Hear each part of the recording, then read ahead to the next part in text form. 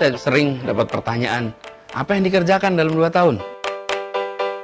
Sebetulnya enak tuh kalau jadi menteri e, pekerjaan umum, karena langsung ngerjainnya jembatan, tol, kelihatan tuh.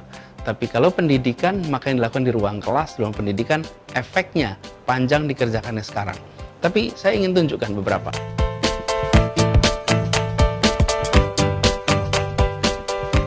Ujian nasional lebih dari 10 tahun, bahkan 11 tahun, tidak ada yang bisa menyentuh ujian nasional syarat kelulusan. Menteri boleh ganti, ujian nasional jalan terus. Dan saya dalam waktu dua bulan sesudah dilantik mengubah ujian nasional.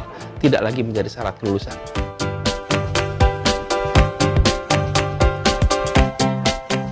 Kurikulum bermasalah, diselesaikan juga dengan sangat cepat. Kira-kira dua bulan sesudah itu langsung dibereskan kurikulum lebih dari 40 inisiatif baru dilakukan dalam 20 bulan.